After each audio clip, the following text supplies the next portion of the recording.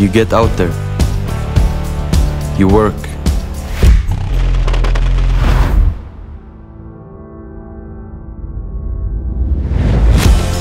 You go after it. Visualize it.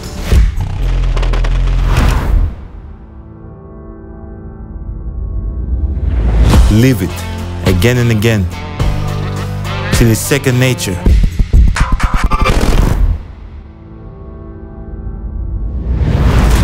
until the moment comes.